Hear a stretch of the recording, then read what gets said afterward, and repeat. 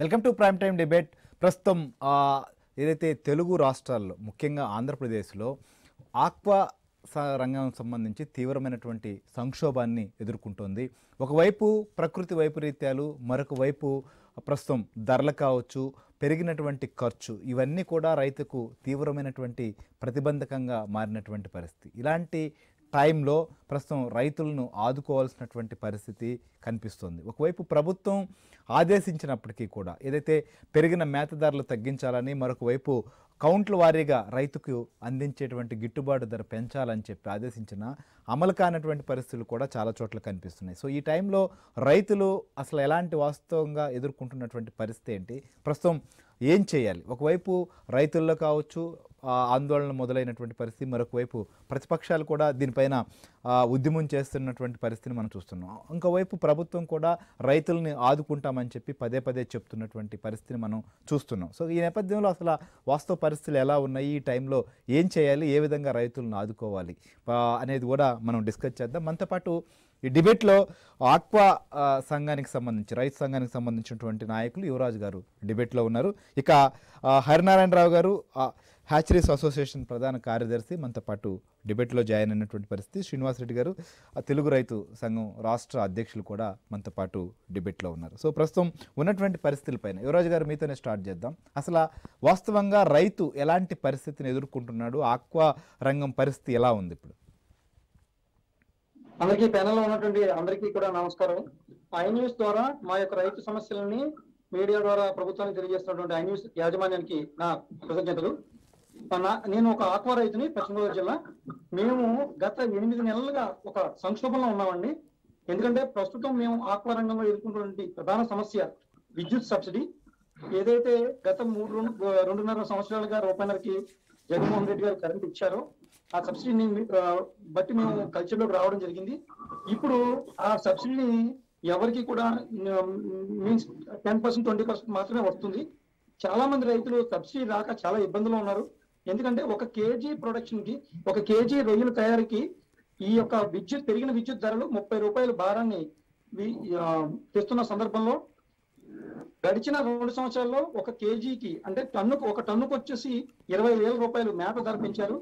ఇది ఈ సందర్భంలో మేము చెరువులు చేయడం చాలా ఇబ్బంది ఇబ్బందిగా ఉంది. ఒక ఒకవైపు వాతావరణ పరిస్థితులను ఎదుర్కొంటున్నాం.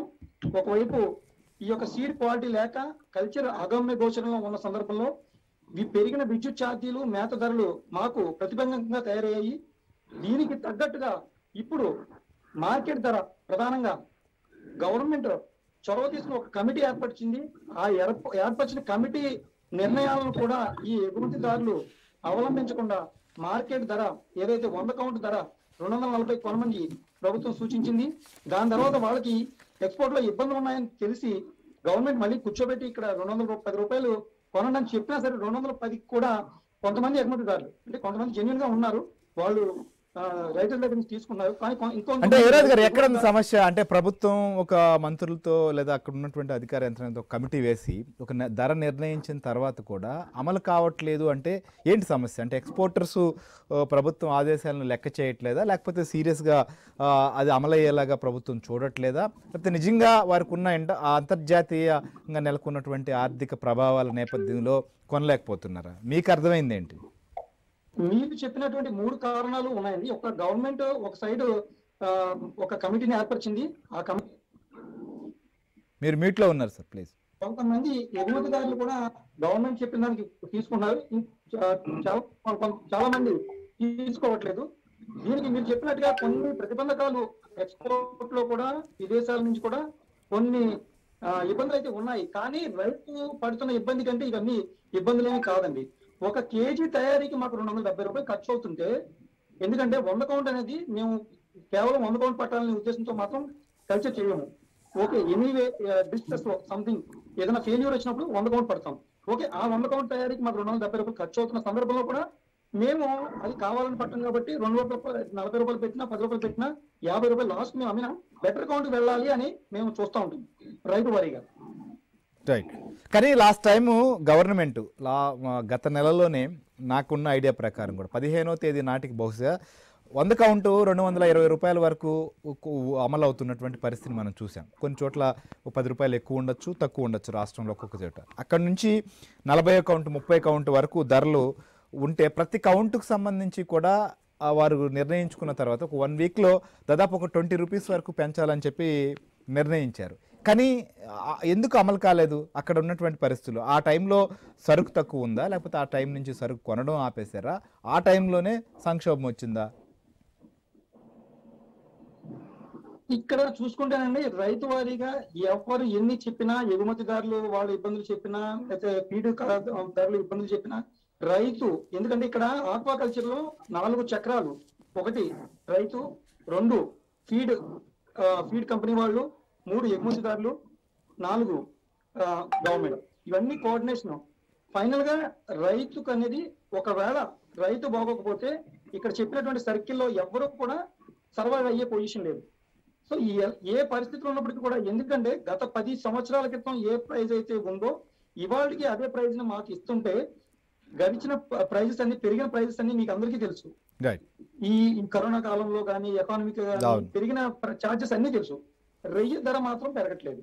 సో దీనికి దయ- దయచేసి ఎక్స్పోర్టర్ని ఇక్కడ మీడియా పూర్వకంగా ఎక్స్పోర్టర్ని అదేవిధంగా ప్రభుత్వాన్ని అందరినీ కూడా మా రైతు తరఫున రైతు సంఘం తరఫున కోరేది ఏంటంటే రైతుకి సరైన గిట్టుబాటు ధర కలిగించండి. దయచేసి సోయాబీన్ పెరిగినప్పుడు మేతల ధర పెంచారు. ఇవాళ సోయాబీన్ తగ్గింది. దయచేసి ఫీడ్ రేట్లు కూడా తగ్గించినట్లయితే మేము కల్చర్లో ముందుకు వెళ్ళగలం. లేని లేని పక్షంలో ఇంత నష్టాల్లో మేము కల్చర్ చేయలేని పొజిషన్.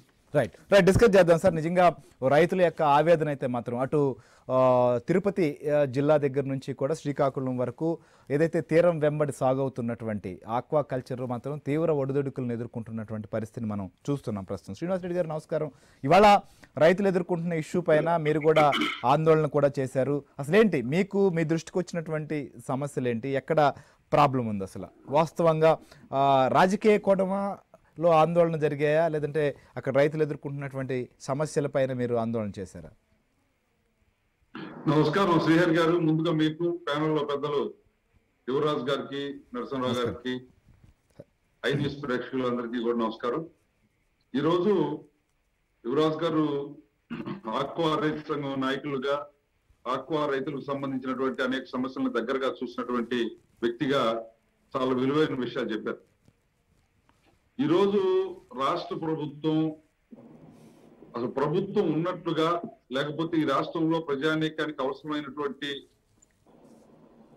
ఏర్పడినటువంటి ఇబ్బందుల్ని అవసరమైనటువంటి పనుల్ని చేయడానికి ఎక్కడ కూడా ముందుకు వస్తున్నటువంటి దాఖలాలు లేవు. ఆక్వా రంగంలో ఈ సంవత్సరం అంటే ఆక్వా రెండు పంటలు వస్తుంది ఈ రెండు పంటలకు సంబంధించి ఈ డిసెంబర్ జనవరిలో పెట్టేటువంటిది ఒకటైతే జూలై జూన్ జూలై నెలల్లో వేసేది సెకండ్ క్రాప్. ఈ ఈ రెండు క్రాప్లకు సంబంధించినటువంటి దాంట్లో ఇప్పుడు గత గత క్రాప్ నుంచి కూడా ఆక్వా రైతులు ఈ సమస్యలు ఎదుర్కొంటా ఉన్నారు. ప్రభుత్వం జగన్మోహన్ రెడ్డి పాదయాత్రకి బయలుదేరినప్పుడు ఆక్వా రైతులకు కష్టాలు ఉన్నాయి రెండు రూపాయల కరెంటే భారం అయింది. అందుకని చెప్పేసి వాళ్ళందరికీ రూపాయన్నరకే నేను విద్యుత్ ఇస్తానని చెప్పాడు. దాంతో వెంపరాశలతోటి రైతులు ఈ చేస్తాడు విద్యుత్ ధరలు తగ్గితే చాలా వరకు కూడా ఖర్చు మినిమైజ్ చేసుకోవచ్చు కొంత ఉత్పత్తి వస్తే పంట చేతికొస్తే ఎప్పుడైనా ఒకసారి అరసారి ఏదైనా కానీ ప్రకృతి వైపరీత్యాలు లేకపోతే ఈ ఫంగ వైరస్ లాంటి ఫంగస్ లాంటి ఇలాంటి ఏదైనా కూడా అటాక్ అయినా కూడా ఒకటి అర పోయినా లాభదాయకంగా ఉంటుందని చెప్పేసి ఆ రంగంలో దిగారు. ఈ రోజు రాష్ట్రంలో భారతదేశంలో ఎగుమతి దొరుకుతున్నటువంటి ఆక్వాలో Andhra Pradesh water nearly seventy percent sixty to seventy percent Andhra Pradesh నుంచి ఎగుమతి అవుతా. ఉంది ఈ రోజు రాష్ట్రంలో రెండున్నర లక్షల నుంచి మూడు లక్షల ఎకరాల లోపు ఒక క్రాప్ ఆగినా కూడా సుమారుగా రెండున్నర నుంచి మూడు లక్షల ఎకరాల వరకు కూడా ఆక్వా ఈ రోజు రాష్ట్రంలో సాగు అవుతా ఉంది. ఒక లక్ష పైగా కుటుంబాలు ఈ ఆక్వాను సాగు చేస్తా ఉన్నాయి. దీంట్లో ఇరవై లక్షల మంది అనుబంధంగా ఆక్వా రంగానికి సంబంధించినటువంటి పనులు కాపలు అయితేనేమి మేత పెట్టే వాళ్ళు అయితేనేమి ఎక్స్పోర్ట్ కంపెనీలు అయితేనేమి ఫీల్డ్ అయితేనేమి రకరకాలైనటువంటి అంశాల్లో ఇరవై లక్షల మంది కూడా జనాభా దాని మీద ఆధారపడి జీవిస్తా ఉన్నారు. వీటన్నిటికీ మించి విదేశీ మారక ద్రవ్యాన్ని సంపాదించి పెట్టేది. రూపాయలు సంపాదించడం వేరు. అవసరమైనప్పుడు ఐఎంఎఫ్లో ఇంటర్నేషనల్ మానిటరీ ఫండ్ అంతర్జాతీయ ద్రవ్యనిధి సంస్థలో ఈ ద్రవ్యం ఉంటూ ఫారెన్ కరెన్సీ ఉండటం అనేది ఒక ప్రెస్టేజ్ ఒక అవసరం. అలాంటి దాన్ని ఉత్పత్తిదారులు తీసుకొని వచ్చి తమకి వచ్చే ఆదాయం కాకుండా రాష్ట్ర కేంద్ర ప్రభుత్వాలకి భారతదేశానికి వాళ్ళ గౌరవాన్ని వనిని తెచ్చిపెడతా అనేక కష్ట నష్టాలు పడుతుంది ఈ రోజు వచ్చినప్పుడు దాంట్లో రైట్ అంటే ఇక్కడ శ్రీనివాస్ రెడ్డి గారు మీరు అన్నారు అంటే అసలు ప్రభుత్వం ఉందా లేదా అనేటువంటిది. కానీ ఆంధ్రప్రదేశ్ ఆక్వాకల్చర్ డెవలప్మెంట్ అథారిటీ ఏర్పాటు చేసిన ప్రభుత్వం. తర్వాత ప్రారంభంలో నాకు తెలిసి ప్రైస్ ధర కూడా తగ్గించారు. ఒకటిన్నర రూపాయికి యూనిట్కి మేము ఇస్తామనేటువంటి హామీని ఇచ్చాం దాని ప్రకారం అని చెప్పి. తర్వాత ధరలను మానిటరింగ్ చేస్తున్నాం దానికి ఒక కమిటీ ఏర్పాటు చేసి పర్యవేక్షిస్తున్నటువంటి పరిస్థితి. ఇవన్నీ ప్రభుత్వ చర్యలు కాదా? ఖచ్చితంగా అండి. అంటే ఉన్నాను విన్నాను అని గతంలో చెప్పినట్టుగానే ఈ రోజు కూడా చెప్పిన దాని ప్రకారం రూపాయి నెలకు తగ్గించినట్టే తగ్గించి మళ్ళీ తీసుకొని వచ్చి ఈ రోజు ఆక్వా జోన్ అని నాన్ ఆక్వా జోన్ అని దాంట్లో మొదటగా ఐదు ఎకరాల లోపు ఉన్నటువంటి రైతులకని తర్వాత పది ఎకరాలకు లోపు ఉన్నటువంటి రైతులకని ఇది వర్తిస్తుందని చెప్తే ఇప్పుడు చెప్పారు కదా వినయ్ బాబు గారు ఒక్క ట్వంటీ పర్సెంట్ రైతాంగానికి కూడా ఈ రోజు జగన్మోహన్ రెడ్డి గారి ప్రభుత్వం ఇస్తున్నటువంటి సబ్సిడీ అనేటువంటిది రీచ్ అవ్వటం లేదు. ఇందులో కూడా అన్ని ఏదైతే సూట్ కేస్ కంపెనీల మైండ్ సెట్ ఉందో దాని ప్రకారమే ఈ రోజు ఆక్వా రైతులు ఆక్వా రైతులకి ఒక ఫోన్ కాల్ చేస్తారండి ఈ ఎలక్ట్రికల్ ఆఫీస్ నుంచి. ఆ ఫోన్ కాల్కు వచ్చినటువంటి ఓటీపీ ఆ సమయానికి వాళ్ళు చూసుకొని చెప్తే వాళ్ళు సబ్సిడీలోకి ఎంటర్ అవుతారు లేకపోతే లేదు. రెండు సార్లు చేసిన తర్వాత ఇక వాళ్ళ అర్హత కోల్పోయినట్టే. ఇంకా వాళ్ళకి ఛాన్స్ కూడా లేదు. ఇది చూసినప్పుడు నిజంగా ప్రభుత్వం బాధ్యత వహించి చేయాలి అనేటువంటి ఆలోచనతోటే ఈ కమిటీలు నేస్తా ఉందా? మరి కమిటీ వేసి కమిటీ సిఫార్సు చేసి రెండు వందల నలభై రూపాయలు కొనమన్నప్పుడు మరి ఎందుకు కొననప్పుడు ప్రభుత్వం బాధ్యత తీసుకోవాల్సినటువంటి అవసరం ఉందా లేదా? ఈ రోజు. ఆక్వా రైతులు కష్టం. నేను మాట్లాడుతున్నానంటే ఒక రైతు తెలుగు రైతు నాయకుడిగా రాజకీయ విమర్శ కోసం కాదండి. నేను నేరుగా చెరువుల దగ్గరికి వెళ్ళాను ఆక్వా రైతులతో మాట్లాడాను. అన్ని అన్ని తరగతుల ఆక్వా రైతులు. ఎకరా రెండు ఎకరాలు సొంతదారులు కౌలుదారులు కొద్దిగా పెద్ద పెద్ద మొత్తంలో పది ఎకరాలు ఇరవై ఎకరాలు యాభై ఎకరాలు రైతులు అన్ని రకాల రైతులతో కూడా నేను చర్చించాను. దీని అన్నింటిలో వచ్చినటువంటి సారాంశం ఏంటంటే ఆక్వా అనేటువంటిది ఇక దాంట్లోకి ఒకసారి దిగిన తర్వాత ఒడ్డుకు రావడం కుదరదు. ఇప్పుడు మనం మిరపేసాం అనుకోండి ఎకరానికి లక్ష రూపాయలు ఖర్చు పెట్టే పంట అయినా మనం వద్దనుకుంటే వచ్చే సంవత్సరం మానుకోవచ్చు కానీ ఆక్వా చెరువులో దిగిన తర్వాత రైతు ఒడ్డెక్కడం కుదరదు. ఎందుకంటే ఆక్వా రైతు ఉన్నటువంటి ఆక్సిజన్కి సంబంధించినటువంటి ఆ, మిషన్ ఒక్కొక్కటి వచ్చేసి నలభై వేల రూపాయలు అయితే. దాన్ని ఒక ఎకరా రైతు చెరువులో పెట్టుకోవాలి అంటే చిన్నపిల్లలుగా ఉన్నప్పుడు టూ హెచ్పి ఆరు పెట్టుకోవాలి పిల్ల పెరుగుతా ఉంటే. మీరు అన్నట్లుగా సార్ పాండ్ సైజుని బట్టి సరే ఆ గుంట పరిణామ పరిమ ఎంత ఉంది సో దాంట్లో వదిలేటువంటి సీడ్ ఎంత? వీటన్నిటిపైన ఆధారపడి ఆక్సిజన్ కానీ మేత కానీ ప్రతిదీ ఆధారపడినటువంటి పరిస్థితి. సో ప్రారంభం నుంచి ఎండింగ్ వరకు కూడా ఆక్వా అనేది ఒక ఆక్వా సాగు చేసే రైతు ఒక బిడ్డను ఏ విధంగా అయితే పసిబిడ్డను పెంచుతారో అలానే ఆక్వా సాగు చేస్తే కానీ వారికి ఫలితం వచ్చేటువంటి పరిస్థితి కాదు. సో అనేక ఒడిదొడుకులు కూడా ఎదుర్కోవాలి ప్రకృతితో కూడా పోరాటం చేయాలి ఫైనల్గా వచ్చే తలకే ధరల విషయం. సో వీటన్నిటి మీద కూడా డిస్కస్ చేస్తాం. సో మనతో పాటు హరినారాయణరావు గారు కూడా ఉన్నారు.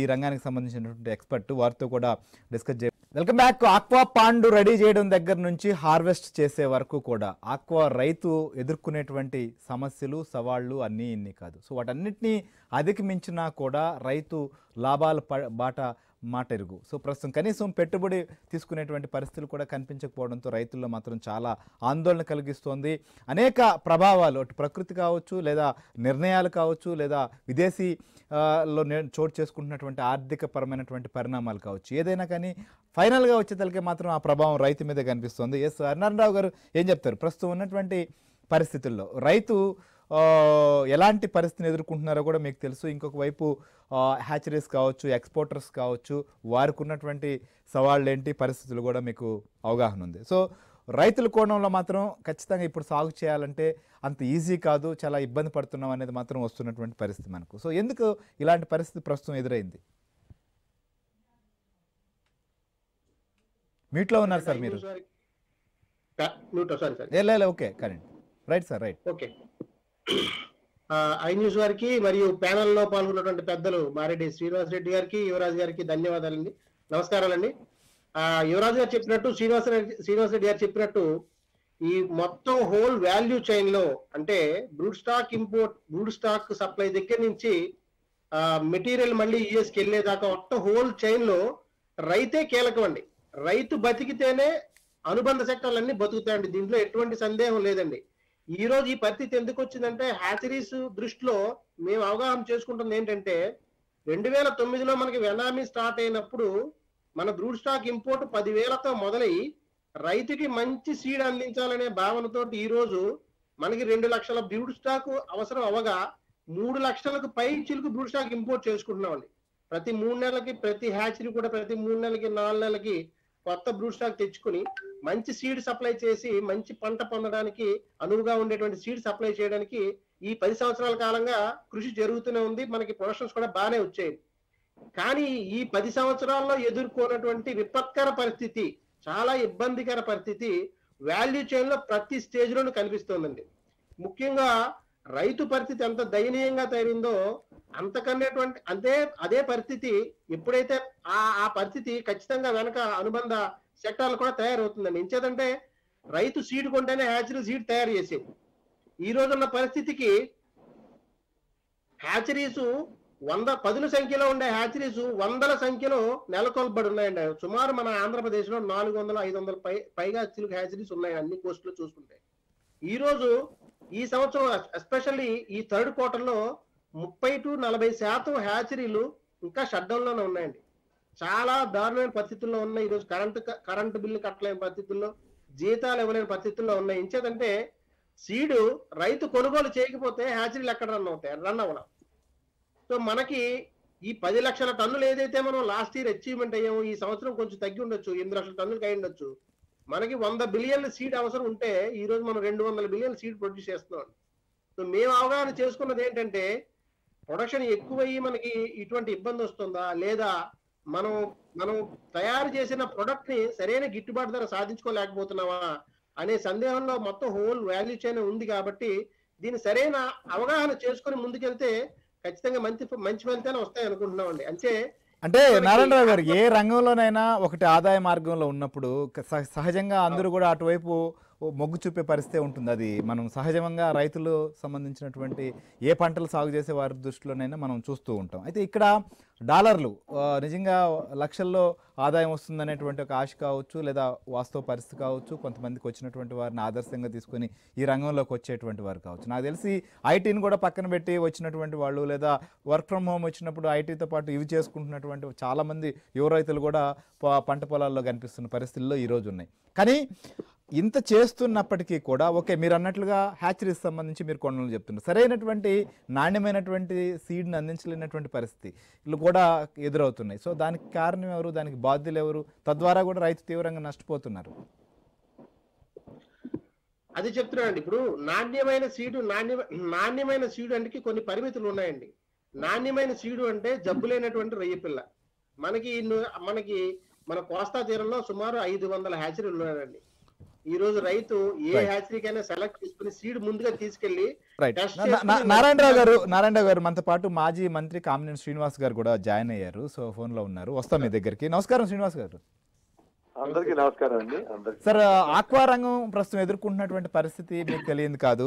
సో ఇప్పుడు ఒక ఒకవైపు రైతులు కొన్ని చోట్ల సాగు చేయాలా వద్దా అనేటువంటి డోలాయమానంలో ఉన్నారు. సో ఇది రాజకీయ కోణాన్ని లేకపోతే రాజకీయ అంశాలను పక్కన పెడితే రైతులు ఎదుర్కొంటున్నటువంటి తీవ్రమైనటువంటి సమస్య కాబట్టి ఇవాళ మీరు కూడా దాంట్లోకి వెళ్ళినటువంటి పరిస్థితిని మనం చూసాం సో మీకు రైతులు ఎదుర్కొంటున్నటువంటి సమస్యలు మీ దృష్టికి వచ్చినటువంటివి ఏంటి? వాటికి కనిపిస్తున్నటువంటి పరిష్కారం ఏంటి? ఎప్పుడూ లేని ఒక సంక్షోభంలో ఉన్నారండి. ఏమి చేయాలో తెలవని పరిస్థితి. సొంత పొలాలు అయితేనేమో ఆ, ఏం చేయాలి తెలవదు. రెండు లీజు తీసుకుంటేనేమో లీజు తీసుకుని సంవత్సరానికి లీజు కట్టేసి ఖాళీగా పెట్టుకోలేరు. అట్లా అని ఈ క్రాప్ వేస్తేనే ఇంకా నష్టం వస్తుంది. పైగా ఈ రొయ్యలు సాగు చేసే దాంట్లో ప్రాబ్లం అంటే చల్లనిటి ఉండి పిల్ల చేప పెరగదు. ఏ పిల్లలు అది అది ఒక ఇబ్బంది ఉంది. ఒక రెండు మూడు సార్లు ట్రై చేస్తే గానీ అది మళ్ళీ చల్లటి అంతా పోయి చేప పెద్ద చేపలు పెంచి చాలా కష్టం. చేప పిల్లలు పెంచి పిల్లలు అమ్ముతానికి కూడా. అందుకని ఒక పెద్ద సంక్షోభంలో ఉందండి. దీనికి డెఫినెట్గా చైనా అమెరికా మార్కెట్స్ చాలా వాళ్ళకి ఎక్స్పోర్ట్ లేకపోవటం వ్యాపారస్తులు తగ్గించుకోవటం ఏ, దానికి తోడు ఫీడ్ కాస్ట్ పెరిగిపోవటం దానికి తోడు ఈ రంగానికి గత ప్రభుత్వాలన్నీ సహకారం చేసినాయండి. అంటే లైక్ వెంకటరామరస దీన్ని తీసుకొచ్చారు కొల్లేటిలో చేపలని. నెక్స్ట్ ఏ ఇది ఒక హై ఇది ట్యాక్సేషన్ వేస్తే నైన్టీ ఫోర్ నైన్టీ ఫైవ్లో చంద్రబాబు నాయుడు గారు నైన్టీ సిక్స్ ఆ ప్రాంతాల్లో చంద్రబాబు నాయుడు గారు తగ్గించారు. తర్వాత ట్యాక్స్ వస్తే ఢిల్లీ వెళ్ళి పిన్నోనేని మన పివి నరసింహారావు వాళ్ళని అడిగితే ఆయన మన్మోహన్ సింగ్ గారు ఫైనాన్స్ మినిస్టర్గా పర్మనెంట్ ప్రిజర్వేటివ్ ట్యాక్స్ని మీరు ట్యాక్స్ కట్టక్కలేదు ఎకరానికి పద్నాలుగు వందలు కడితే సరిపోతుంది అన్నారు. పర్మనెంట్ ప్రిజర్వేటివ్ ట్యాక్స్ అని. ఓ యూనిట్కి. అలా కిరణ్ కుమార్ రెడ్డి గారు నాలా చట్టం నాన్ అగ్రికల్చర్ ల్యాండ్ కన్వర్షన్ వస్తే ఎకరానికి యాభై వేలు అమలు కట్టాలంటే కట్టలేరంటే వాళ్ళు దాన్ని చేపల చెరువులు ఎగ్జామ్ చేశారు. ఇవాళ ప్రభుత్వం రూపాయిన్నర ఉన్న కరెంటుని ఐదు రూపాయలు పదిహేను పైసలు చేస్తే అసలు అసలు రైతు ఎంత గగ్గోలు. నువ్వు నువ్వు ఇండివిజువల్ వ్యాపారస్తుల్ని నష్టపో నువ్వు వాళ్ళని నష్టపోదయా అని. అవును. రైట్. శ్రీనివాస్ గారు రైతులైతే చాలా తీవ్రమైనటువంటి పరిస్థితిని ఎదుర్కొంటున్నారు. సో అనేక కారణాలు అనేక రకమైనటువంటి సమస్యలు కూడా దీనికి కనిపిస్తూ ఉన్నాయి. సో ఆయన ఫోన్లో టెక్నికల్ సమస్య వచ్చినట్టుంది. ఎస్ uh, నారాయణరావు గారు. అందరూ కలిసికట్టుగా చేసి దించదంటే మనం పండించే పండించే పంట కంప్లీట్గా మనం పూర్తిగా ఎక్స్పోర్ట్ మీద ఆధారపడి ఉన్నాం. అలాగే ఈ వాల్యూ చైన్లో ప్రతి వాళ్ళు కూడా ఒకరి మీద ఆధారపడి ఉన్నారు కాబట్టి మన ఇండియాకి దీనికి పరిష్కారం అయితే కనుక ఇది వినడానికి మనకి కొంచెం కష్టంగా అనిపించినా కూడా ఖచ్చితంగా డొమెస్టిక్ మార్కెట్ మీద అయితే దృష్టి సారించాలి సార్. ఇది అన్ని రంగాలు అన్ని- ఆ సెక్టర్లో ఉన్న ఓల్ వాల్యూ చైన్లో ఉన్న అందరూ కలిసికట్టుగా కొంచెం డొమెస్టిక్ మార్కెట్ని మనం పెంచుకోగలిగితే మనం ప్రొడ్యూస్ చేసిన ఎనిమిది లక్షల టన్నులు పది లక్షల టన్నుల్లో సుమారు తొంభై శాతం మనం ఎక్స్పోర్టే చేస్తాం. పది పది శాతమే మనం ఉపయోగపడుతుంది. సో ఇండియాలో ఉన్న జనం వారానికి ఒక్క రోజు గనక రొయ్యలు తినగలిగితే గనక మనం ఈ సమస్యని ఈజీగా అంటే తినాలి అంటే అందుబాటులో ధర కూడా అవసరమే కదా సార్? ఇప్పుడు ఇక్కడ డొమెస్టిక్గా వినియోగించాలనేది వంటి మంచి సూచనే. కానీ అది ఎలా. అనేది కూడా. అదే సార్ ప్రొడక్షన్ ప్రొడక్షన్ కాస్ట్ ఎలా తగ్గించుకోవాలని దాని మీద ఆధారపడి ఉంది సార్. ప్రొడక్షన్ కాస్ట్ తగ్గించుకోవాలంటే ఈ రోజు మనకున్న మార్గాలు ఏకైక మార్గాలు డెన్సిటీ తగ్గించుకోవాలి ఖర్చులు తగ్గించుకోవాలి. అంటే మనకి నేను హ్యాచరీలో ఉన్నాను సార్. ఈ రోజు లాస్ట్ ఇయర్ హ్యాచరీ లీజులు వేరు ఇప్పుడు హ్యాచరీ లీజులు వేరు last year cost of production వేరు ఇప్పుడు ప్రొడక్షన్ వేరు. ఖచ్చితంగా ప్రతి ప్రతి ప్రొడక్షన్ కాస్ట్ ఉన్న ప్రతి అంశాన్ని దృష్టిలో పెట్టుకుని ప్రొడక్షన్ కాస్ట్ ఎలా తగ్గించుకోవాలి? ఇప్పుడు మనకి కేజీ నూట ఎనభై రూపాయలు రెండు వందల రూపాయలు పెట్టి చికెన్ కొంటున్న పరిస్థితిలో నూట ఎనభై రెండు నూట ఎనభై రెండు వందలు పెట్టి రొయ్యలు కొనే పరిస్థితిని తీసుకురావాలి సార్. అది మనం ఖచ్చితంగా అన్ని. వాల్యూ చైన్ ఉన్న ప్రతి వాళ్ళు కృషి చేస్తే ఎంతో కొంత కరెక్ట్ సాధించవచ్చు కరెక్టే మీరు అన్నది వాస్తవమే. కానీ చాలా మందికి ఆక్వా అనగానే రొయ్యలు అనగానే ఈ కాస్ట్ కూడా తెలియదు. అవగాహన కూడా లేనటువంటి వాళ్ళు కూడా ఉంటారు. చాలా కాస్ట్ అనేటువంటి భావనలో ఉండే వాళ్ళు కూడా ఉన్నారు. సో ఆ వైపు నుంచి కూడా చైతన్యం జరగాల్సిందే. కానీ ప్రస్తుతం సమస్యని సంక్షోభాన్ని మనం గట్టెక్కాల్సినటువంటి అవసరం ఉంది కాబట్టి శ్రీనివాస్ గారు కూడా వచ్చారు. శ్రీనివాస్ గారు మీది టెక్నికల్ ఇష్యూ వల్ల ఆగింది. ఎస్ ఏంటి ఏం చేయాలంటారు? డెఫినెట్గా దీంట్లో ప్రభుత్వం చొరవ తీసుకుని రైతుల్ని పిలిచి ఏ వాళ్ళకి ఇప్పుడు వారు హ్యాచరీస్ అవి చేస్తున్నారు అందులో జెన్యున్ సీడ్ వాళ్ళకి సప్లై కాకపోతే చాలా మంది రైతులు ఆ నష్టపోతున్నారు సరే అవన్నీ ప్రభుత్వం మానిటర్ చేయొచ్చు. ఏ డెఫినెట్గా ఈ మెయిన్ ఇన్పుట్స్లో పవర్ పవర్ సెక్టర్ ఒక మెయిన్ కాస్ట్ అండి వాళ్ళకి ఏరే ఎగ్జాక్ట్లీ పాతి వేలు బిల్లు కట్టేవాళ్ళు నెలకి ఇప్పుడు లక్ష రూపాయలు కట్టాల్సి వస్తుంది No. డెఫినెట్గా అసలు ప్రతికి ఒక కాన్ఫిడెన్స్ క్రియేట్ చేయాలండి. లేకపోతే మీ- మీరు అన్నట్లుగా రైతుకి యూనిట్ ఛార్జీల దగ్గర నుంచి ట్రాన్స్ఫార్మర్ ఏర్పాటు వరకు కూడా భారమైనటువంటి పరిస్థితులు ఉందనేది అది రాష్ట్ర ప్రభుత్వాలు కూడా చూడాలి. అంటే ఇంకొక అంశం మీరు బీజేపీ నాయకులు కూడా ముఖ్య నాయకులు కాబట్టి సో మనకు ఒకవైపు ఎంపెడా ఉంది సో ఇంకొక వైపు ఇక్కడ అథారిటీని ఏర్పాటు చేసుకున్నారు సో ఇది ఒక సమన్వయం అవసరం. ఇంకోవైపు ధరలకు సంబంధించిన విషయంలో విదేశాల్లో నెలకొన్నటువంటి పరిస్థితుల్లో లేకపోతే అక్కడ ఉన్నటువంటి మార్కెట్ పరిస్థితిని చూ బూచిగా చూపి కొంతమంది ఎక్స్పోర్టర్స్ సరైన ధర ఇవ్వట్లేదు అనేటువంటి విమర్శ కూడా ఉంది. దానిపైన కేంద్రం కూడా దృష్టి సారించాల్సిన అవసరం లేదా సార్? డెఫినెట్గా డెఫినెట్గా. కానీ అన్నిటికీ ప్రభు మనం ఇంటర్నేషనల్ మార్కెట్కి వెళ్ళి వేరే దేశాలకు ఉన్నప్పుడు మన పరిమితులు మనకు ఉంటాయి. కానీ మనం చూసుకోవాల్సింది మనం ఎలా కాస్ట్ ఆఫ్ ప్రొడక్షన్ ఎలా తగ్గించాలి అనేది.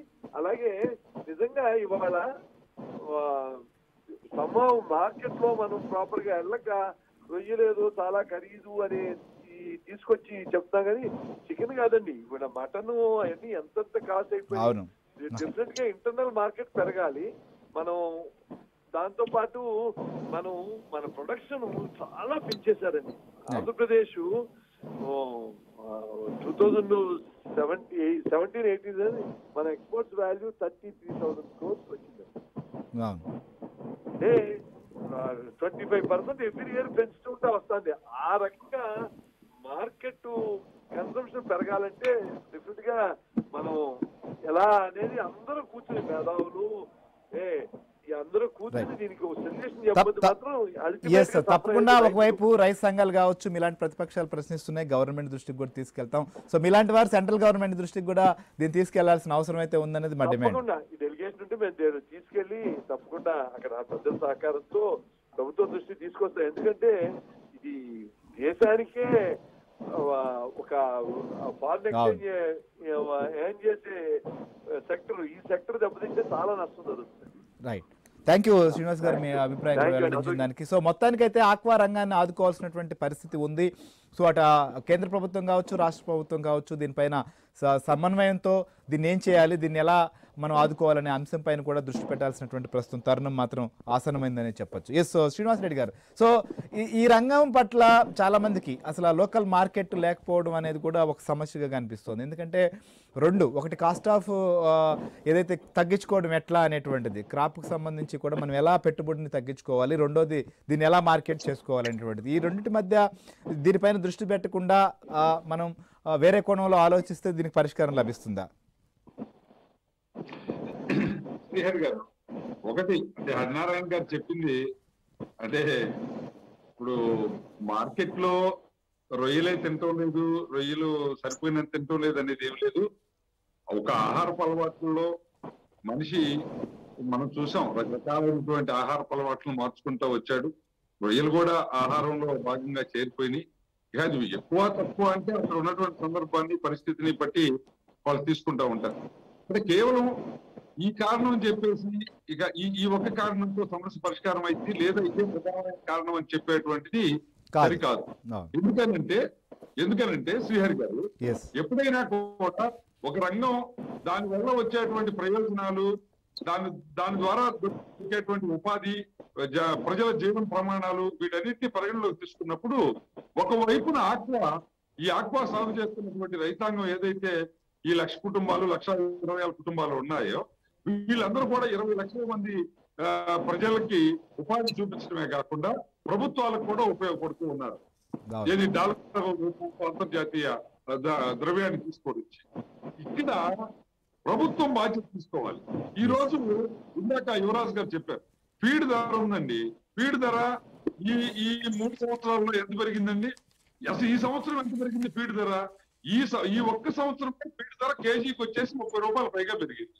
ఈ ముప్పై రూపాయలు పెరగడానికి కారణం ఏంటి? ఈ భారతదేశంలో ఒక కోటి పదిహేను లక్షల మెట్రిక్ టన్నుల సోయా ఉత్పత్తి జరిగితే మొత్తం మొత్తం భారత తరఫున తెరిచేసి ఎక్స్పోర్ట్ చేసేసారు. దేశీయ అవసరాల కోసం దాని మీద ఏ విధమైనటువంటి నిబంధన పెట్టలేదు. ఇప్పుడు ఆక్వా ఉంది అంటే సుమారుగా పది లక్షల మెట్రిక్ టన్నుల ఆక్వా ఎగుమతి పడుతుందా ఉంది అంటే పది లక్షల మెట్రిక్ టన్నుల పంట ఇక్కడ భారతదేశంలో వస్తుంది అంటే ఆరు ఏడు లక్షల మెట్రిక్ టన్నులు ఆంధ్రప్రదేశ్లో వస్తుంది దాంట్లో నుంచి. ఇంత ఇంత వస్తుంది ఇంకన్నిటికీ కావాల్సినటువంటి ఫీడు ఈ సోయాని మనం కంట్రోల్ చేయాలి అనేటువంటి ఒక నిబద్ధతతో కొన్ని ఆలోచన ప్రభుత్వాలకు ఉండాలి. దాన్ని వదిలేశారు. ఈ రోజు అది లేకపోవడం వల్ల ధర పెరిగిపోవడం వల్ల కొద్దిగా వస్తే తప్పని పెంచేస్తున్నారు. ఈ రోజు థర్టీ పర్సెంట్ సోయా ధర తగ్గిపోయింది. అయినా కూడా ఫీడ్ ధర తగ్గింది? రెండు రూపాయలు తగ్గించారు. ఈ ప్రభుత్వం ఈ కమిటీ వేసి ఆ కమిటీలు వేసి అక్కడికి వస్తే అంటే ఏంటి ఏం జరుగుతుంది? కేవలం ఇరవై ఈ Right. ఎస్ ఎస్ మీరు మీరు మీరు మీరు టెక్నికల్గా కూడా గ్రౌండ్లో ఉన్నటువంటి పరిస్థితిని చెప్పారు. నా మా- దృష్టికి వచ్చింది కూడా ఒక మేత విషయానికి వచ్చినప్పుడు సోయా ధరలు ఏదో పెరిగినప్పుడు దాదాపు కేజీ మేత పైన పదిహేడు రూపాయల వరకు పెరిగినటువంటి పరిస్థితిని రైతులు భరించారు. సరే తర్వాత తగ్గింది చాలా తక్కువనే చెప్పాలి. ప్రభుత్వం ఆదేశించిన తర్వాత దాని ధర తగ్గించింది కూడా చాలా తక్కువగానే ఉంది. అయితే ఇంకా తగ్గాల్సినటువంటి పరిస్థితి కూడా ఉంది. ఎస్ హరినారాయణ రావు గారు ఈ ద- ధరలకు సంబంధించిన విషయం కాడికి వస్తే సో ఆ ప్రధానంగా మేత కెమికల్స్ కావచ్చు ఇవన్నీ చాలా ఎక్కువగా వాడాలి. మేత అయితే మాత్రం ఖచ్చితంగా ఆ రొయ్యల సైజుని బట్టి గ్రోత్ని బట్టి కూడా వాడుకుంటూ వెళ్తుంటారు. కానీ ఇంత ధరలు ఎందుకు పెరిగాయి?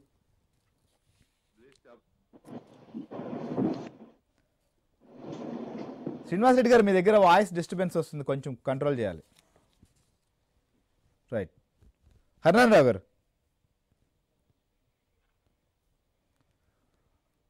హరినారాయణ రావు గారు మీరు మీట్లో ఉన్నారు. సార్ చెప్పండి సార్ లేండి సార్. రైట్ అదే. ప్రధానంగా మేత విషయానికి వచ్చేతలకి ఎందుకు ఇంత ధర పెరిగింది? కంట్రోల్ లేకపోవడమా? లేకపోతే వ్యాపారులు సిండికేట్గా మారడమా? ఎందుకు ఈ పరిస్థితి వచ్చింది? సార్ దీంట్లో అన్ని విషయాలు అవగాహన చేసుకోవాలి. మన శ్రీనివాస్ రెడ్డి గారు చెప్పినట్టు నిజంగా దాన్ని లోతుగా పరిశీలించాలి. ఖచ్చితంగా మ్యాథ్కి సంబంధించిన ఇంగ్రీడియంట్స్ ఏవైతే ఉన్నాయో మనం వాళ్ళు చెప్తున్నది ఏంటంటే ఇంగ్రీడియంట్స్ ఏవైతే ఉన్నాయో దాని ఇంపోర్ట్ కాస్ట్ పెరిగిపోవడం వల్ల కాస్ట్ పెరిగిపోతుంది అన్నారు దీని మీద సమగ్రమైనటువంటి అధ్యయనం జరగాలి ఖచ్చితంగా. శ్రీనివాసరావు గారు చెప్పినట్టు అధ్యయనం జరిగితే ఒక ఒక పరిష్కారం అయితే దొరికే అవకాశం అయితే ఉంది సార్. దాంట్లో అయితే ఎటువంటి సందేహం లేదు. రెండోది మనకి మెయిన్ ఈ పరిస్థితి కూడా కారణం అంటే హోల్ వాల్యూ చైన్లో హ్యాచరీస్ కానివ్వండి రైతులు కానివ్వండి మనం చేసేది ఏమి ప్లాస్టిక్ బిజినెస్ కాదు సార్. ఈ రోజు కాదు రేపు అమ్ముకోవచ్చు అంటారు. హ్యాచరీస్ అంటే రెండు రోజుల్లో మొత్తం ప్రొడక్షన్ చేసి అమ్మేయాలండి. మూడో రోజు డ్రైన్ చేసేయాలి లేకపోతే దాన్ని దాచుకోవడానికి లేదు. అలాగే రైతులు కూడా ఈ రోజు ఏదైనా పంట చేసినప్పుడు ఈ రోజు పట్టాలనుకుంటే ఈ రోజు పట్టేయాలండి. రేపు ఎల్లుండి చేద్దాం అంటే లేదు. మనకి ఏంటంటే శీతలగిడ్డంగులు లేవు మనకి కోల్డ్ స్టోరేజ్లు లేవు మనం ఏం దాచుకుని పది రోజులు అమ్మడానికి లేదు. సో ఇది అంతా కూడా మనకి ఏంటంటే ప్రతి విషయం కూడా ఇంకొక అనుసంధాన విషయం మీద ఆధారపడిపోవడం వల్ల మనకి ఇటువంటి ఇబ్బంది కలుగుతుందండి. సో దీన్ని చాలా రైతులైతేనే మొత్తం హోలీ వాల్యూ చైన్ ఉన్న ప్రతి వాళ్ళు కూడా చాలా జాగ్రత్తగా వ్యవహరించాల్సిన పరిస్థితి అండి అది శ్రీనివాస్ చెప్పినట్టు ఫీడ్ విషయంలోనూ కరెంట్ విషయంలోనూ. అన్ని విషయాల్లో కూడా కలిసికట్టుగా Yes. కూర్చుని ఎస్ దీన్ని పరిస్థితి చేసుకుంటేనే అవుతుంది సార్. యువరాజ్ గారు యువరాజ్ గారు ఏం చెప్తారు? ధరల విషయం కాడికి వచ్చేతలకే ఎందుకు ఇలాంటి పరిస్థితి వస్తుంది అనేటువంటి సరే ఒకవైపు మేత ధర లేదా విద్యుత్ పరమైనటువంటి సమస్యలు సో వాటిని కంట్రోల్ చేసుకోవాల్సినటువంటి పరిస్థితి ఉంది. అయితే వచ్చిన తర్వాత ఒక ధర నిర్ణయించిన తర్వాత అమలు కాకపోవడానికి కారణం ఏంటి? మీరు ఏదన్నా రైతాంగంగా ఎక్స్పోర్టర్స్ని ఏమైనా క్వశ్చన్ చేస్తున్నారా? వాళ్ళని ఏదన్నా అడిగే ప్రయత్నం చేశారా? ఎందుకు అమలు చేయట్లేదని వారి నుంచి వస్తున్నటువంటి రియాక్షన్ ఏంటి. ఒక రైతుగా నా యొక్క మీడియా ద్వారా మేము ఎగుమతిదారులకి తెలియజేసేది ఏంటంటే ఎగుమతిదారులు కానీ శ్రీను హరినాథరావు గా- నారాయణరావు గారు చెప్పినట్టు హ్యాచరీలు కానీ లేదంటే రైతులు కానీ మేమందరూ కూడా ఒక వాల్యూ చైన్లో ఉన్నామండి. అందరూ బాగుండాలి అందులో రై రైతు ఉండాలి అనే కాన్సెప్ట్తో ఈ ఎగుమతిదారులు ఎవరైతే ఉన్నారో దయచేసి వాళ్ళందరికీ కూడా మీడియా పూర్వకంగా నా యొక్క విన్నపం ఏంటంటే మేము పండించే పంటలో మాకు వేసవకాలం ఎలాగ గిట్టుబాటు ధర ఇవ్వట్లేదు మీరు. ఒక నూట ఎనభై రూపాయలు నూట తొంభై రూపాయలు అంత మాత్రమే ఇస్తున్నారు. కానీ ఎప్పుడైతే డిసెంబర్ ముందు క్రిస్మస్ ఆర్డర్స్ ఫారెన్లో క్రిస్మస్ సందర్భంగా మంచి ఆర్డర్స్ వస్తాయో ఇక్కడ ప్రధానంగా మంచి రేటు పలికే సందర్భం ఇది. ఈ ఈ ఈ మాసం. ఈ నెలలో ఇంత దారుణంగా రైలు ధరలు పడిపోవడం అనేది మా రైతుల్ని బాగా కలిచివేస్తుంది దయచేసి మా రైతుల సంఘం అందరి తరఫున కూడా ఎగుమతిదారులను అర్థం చేసుకుని గవర్నమెంట్ ఏదైతే ప్రతిపాదించిందో గవర్నమెంట్ ప్రతిప కమిటీ ఏదైతే సిఫార్సు చేసిందో ఆ ప్రైజ్ ఇప్పించవలసిందిగా ఎగుమతిదారుల్ని నేను మీ మీ మీడియా పూర్వకంగా కోరడం జరుగుతుంది. రైట్ రైట్ శ్రీనివాస్ రెడ్డి గారు మీరు ప్రభుత్వాన్ని క్వశ్చన్ చేస్తున్నారు. ఓకే సరే మీరు ఒక రైతు సంఘం విభాగంగా అయితే మీరు అడిగితే అదే రాజకీయ కోణం కూడా వచ్చేటువంటి పరిస్థితి కానీ ఒక ప్రభుత్వమే కాదు దీంట్లో ఎక్స్పోర్టర్స్ బాధ్యత ఉంది. సో సెంట్రల్ గవర్నమెంట్కు బాధ్యత ఉంది. వారిని ఏం క్వశ్చన్ చేయరా మీరు? నేను అదే చెప్తున్నాను. శ్రీహరి గారు నేను ఒక రాజకీయ కోణం ఒక భాగం. రెండో వైపున నేను ఒక రైతు పక్షపాతిగా మాట్లాడుతున్నాను. రేపు మా ప్రభుత్వం ఉన్నా సరే నేను ఖచ్చితంగా ప్రభుత్వం నుంచి రైతులకు రావాల్సిన దాని గురించి మాట్లాడే తీరుతాను దాంట్లో ఏం సందేహం లేదు. కేంద్ర ప్రభుత్వం నేను చెప్పాను సోయా. ఈ సోయా ఈ రకం జరగడానికి ఫీడ్ పెరగడానికి కేంద్ర ప్రభుత్వమే కారణం. అయితే నేను ఇక్కడ ఏమంటానంటే ఎగుమతిదారులైనా కేంద్ర ప్రభుత్వం అయినా లేకపోతే హ్యాచరీస్ వాళ్ళైనా ఎవరైనా రాష్ట్ర ప్రభుత్వం యొక్క బాధ్యత ఉండదా? రాష్ట్ర ప్రభుత్వం వాటిని నియంత్రించేటువంటి శక్తి లేదా? నిజంగా కావాలనుకున్నప్పుడు అవన్నీ చేయటం లేదండి. అవన్నీ చేయటం లేదా? ఈ రోజు లిక్కర్ అమ్ముకునే దాంట్లో కానివ్వండి ఇసుక అమ్ముకునే దాంట్లో కానివ్వండి మైనింగ్ చేసే దాంట్లో కానివ్వండి ప్రభుత్వం ఆ నియంత్రణ పెట్టి కంట్రోల్ చేయలేదండి వీళ్ళందరినీ. దీంట్లో ఎందుకు చేయలేదు? దీని మీద ప్రేమ లేదు. ఈ ఈ సెక్టార్ని కొలాప్స్ చేయాలి. ఈ సెక్టార్ని క్యాప్చర్ చేయాలి అనేటువంటి ఒక దుర్మార్గమైనటువంటి ఆలోచనతో జగన్మోహన్ రెడ్డి గారి ప్రభుత్వంలో ఉన్నటువంటి కొంతమంది పెద్దలు కోరిక దాన్ని అమలు జరపడానికి జగన్మోహన్ రెడ్డి గారు ఈ రోజు చేస్తా ఉన్నాడు.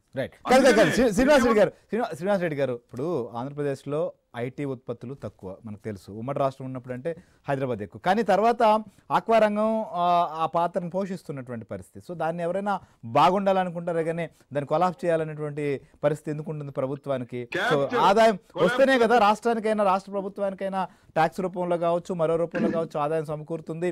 ప్రజల దగ్గర కూడా మనీ ఫ్లో ఉంటుంది. ఇక్కడ ప్రభుత్వం ఎప్పుడే ఎందుకు చేస్తుందంటే ఈ రోజు రైతుని ఈ ఆక్వా మీద కన్నేసినటువంటి పెద్దలకి ఆ భూములు దక్కాలి ఆ- కల్చర్ దక్కాలి అంటే దానిలో ఉన్నటువంటి చిన్న సన్నకారు తట్టుకోలేని వాళ్ళంతా కూడా బయటికి వెళ్ళిపోవాలి. అలా వెళ్ళగొట్టడానికి ఈ రోజు ఈ ప్రభుత్వం ఈ కుట్ర చేస్తా ఉంది. అందుకని దీన్ని క్యాప్చర్ చేయడానికి దీన్ని కాజేయడానికి కావాల్సినటువంటి కుట్రలో భాగంగానే ఈ రోజు ప్రభుత్వం ఇంత బాధ్యతారహితంగా చేస్తా ఉంది. Right. పదివేలు పన్నెండు వేల రూపాయలు కరెంట్ రైతు ఈ రోజు యాభై వేల రూపాయలు వస్తుందండి. ఒక ట్రాన్స్ఫారం పెట్టుకోవాలి అంటే లక్ష అయ్యేటువంటి రైతుకి twenty twenty twenty five KV transformer ఈ రోజు లక్ష నలభై వేల రూపాయలు తేడా వస్తుంది. గత ప్రభుత్వానికి ఈ ప్రభుత్వానికి. ఈ రోజు అదే హండ్రెడ్ కేవీ ట్రాన్స్ఫారం పెడితే ఐదు లక్షల రూపాయలు తేడా వస్తుందండి. అంటే ప్రభుత్వం బాధ్యత ఉంటే దీన్ని కాపాడాలి దీంట్లో డబ్బులు వస్తా ఉన్నాయి ఈ సెక్టార్ అవసరం అనుకుంటే వీటన్నిటిని చేయదండి. ఎందుకు రివర్స్ చేస్తా ఉంది? ఎందుకని? పొంతం లేని నిబంధనలన్నీ అంటే. రైతుకి రైతు అందుకోవడానికి అవకాశం లేనటువంటి కండిషన్స్ ఎందుకు తీసుకొని వస్తా ఉంది? రైట్ చూద్దాం సార్ నిజంగా మీరు అన్నట్లుగా కొన్ని అంశాలపైన కాదు ఇప్పుడు ఉన్నటువంటి అన్ని ఇష్యూస్ను కూడా ప్రభుత్వాలు పర్యవేక్షించాల్సిన పరిస్థితి ఉంది. నారాయణరావు గారు ఫైనల్గా ఏం చెప్తారు? సో ఇప్పుడు అటు రాష్ట్ర ప్రభుత్వం కావచ్చు కేంద్ర ప్రభుత్వం కావచ్చు వారు నియంత్రించాల్సింది వారి చర్యలు తీసుకోవాల్సింది ఏంటి అసలుకి? సార్ హండ్రెడ్ పర్సెంట్ దీంట్లో కేవలం మనం ప్రభుత్వాన్ని హండ్రెడ్ పర్సెంట్ ప్రభుత్వం చేయాల్సింది చేయాలి. At the same time value చైన్లో అందరూ కూడా కూర్చుని ఇది ఈ సమస్యకి పరిష్కారం వెతకాలి సార్. అలా ఎంచేదంటే రేట్ అనేది ఈ రోజు కొనుబడి రేట్ అనేది ఎవరు డిసైడ్ చేస్తారు సార్? అయితే సెల్లర్ లేకపోతే బయ్యర్ సెల్లర్ ఎప్పుడు రేట్ డిసైడ్ చేయగలుగుతారు sir? Production production production demand కన్నా సప్లై తక్కువ ఉన్నప్పుడు సెల్లర్ రేటు డిసైడ్ చేస్తారు. అదే విధంగా బయ్యర్ ఎప్పుడు రేట్ డిసైడ్ చేస్తారు సార్? ప్రొడక్షన్ ప్రొడక్షన్ కన్నా డిమాండ్ బాగా ఎక్కువైనప్పుడు అంటే డిమాండ్ వర్సెస్ సప్లై ఉన్నప్పుడు బాగా మెటీరియల్ దొరుకుతున్నప్పుడు బయ్యర్ రేట్ డిసైడ్ చేస్తారు సో. మనం ఇది అవకాశం ఎవరికి ఇచ్చామన్నది మనం అవగాహన చేసుకుని ప్రొడక్షన్ లిమిటెడ్గా చేసుకోవడమా లేకపోతే తగ్గించుకోవడమా లేదా ప్రొడక్షన్ వర్సెస్ డిమాండ్ చూసుకుని మనం ముందుకెళ్ళడం అనేది ముఖ్యమైనటువంటి అంశం సార్. దీంట్లో గవర్నమెంట్ చేయాల్సింది హండ్రెడ్ పర్సెంట్ ప్రశ్నించాలి గవర్నమెంట్ కూడా నియంత్రణలు తేవాలి ఇప్పుడు అప్సరా- అప్సరా తెచ్చినట్టు నియంత్రణలు తేవాలి. శ్రీనివాస్ రెడ్డి గారు చెప్పినట్టు అన్ని విషయాలు కూడా గవర్నమెంట్ దృష్టికి తీసుకెళ్ళాలి. గవర్నమెంట్ కూడా పాల్గొని ఇది చేస్తేనే ఈ. సమస్యకి పరిష్కారం దొరుకుతుంది సార్. ప్రొడక్షన్ వర్సెస్ డిమాండ్ అనేది మనం ఖచ్చితంగా టైం కూడా అవుతుంది కాబట్టి సో ఖచ్చితంగా ఆక్వా రంగాన్ని ప్రస్తుతం ఎదుర్కొంటున్నటువంటి సంక్షోభంలోంచి బయటపడేయాలంటే ఇటు ప్రభుత్వాలు ఖచ్చితంగా రియాక్ట్ అవ్వాల్సినటువంటి పరిస్థితి ఉంది. దాంతోపాటుగా ఈ చైన్లో ఎవరైతే ఉన్నారో వారు కూడా స్పందించాల్సినటువంటి పరిస్థితి ఎందుకంటే రైతు బాగుంటేనే ఈ రంగం పైన ఆధారపడినటువంటి హ్యాచరీస్ కావచ్చు ఫీడ్ కావచ్చు కెమికల్స్ కావచ్చు ఎక్స్పోర్టర్స్ కావచ్చు వ్యాపారులు కావచ్చు ప్రభుత్వంకైనా కావచ్చు అందరికీ ఉపయోగం ఉంటుంది. కాబట్టి దీన్ని దృష్టిలో పెట్టుకొని ప్రతి ఒక్కరూ రియాక్ట్ అవ్వాల్సినటువంటి అవసరం మాత్రం కనిపిస్తుంది. ఇది డిబేట్ డిబేట్లో పాల్గొని మీ అందరికీ కృతజ్ఞతలు.